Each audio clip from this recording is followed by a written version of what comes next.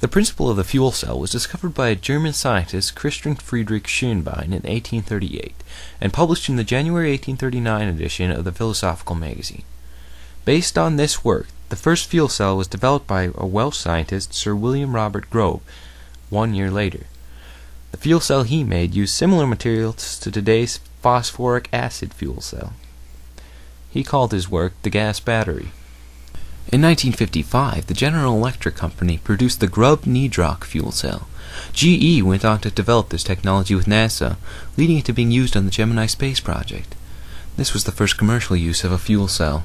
In 1959, the world's first fuel cell tractor was displayed across the U.S. at state fairs, and in that same year came the demonstration of a practical 5 kilowatt cell capable of powering a welding machine.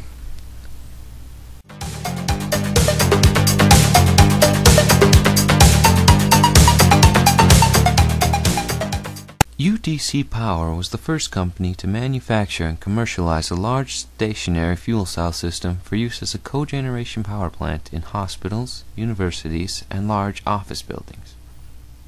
The company also continues to be the sole supplier of fuel cells to NASA for use in space vehicles, having already supplied the Apollo missions and currently the Space Shuttle program.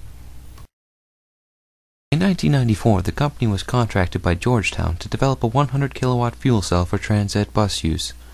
The fuel cell developed for the first generation 2 bus was a derivative of the successful PureCell 200.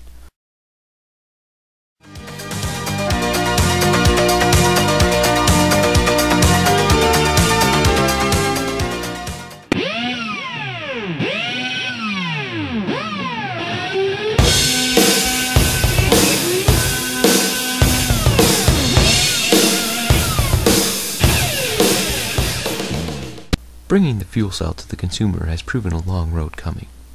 But now that it is viewed as a potential solution in the search for an alternative energy, the future is on the horizon. Fuel cell technologies are an attractive alternative to oil dependency. Fuel cells give off no pollution, and in fact produce pure water as a byproduct. They also prove to be quite more efficient than your standard diesel powered vehicle. Fuel cells just may be the answer to our power problems. But first, scientists will have to sort out a few major issues.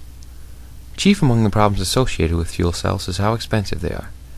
Many of the component pieces of fuel cells are costly. In order to be competitively priced, compared to gasoline powered vehicles, fuel cell systems must cost $35 per kilowatt. Currently, the projected high volume production price is $110 per kilowatt. Another fuel cell design issue is temperature management. The same temperature must be maintained throughout the cell in order to prevent destruction of the cell through thermal loading. This is particularly challenging due to the fact that the reaction that creates the energy is highly exothermic.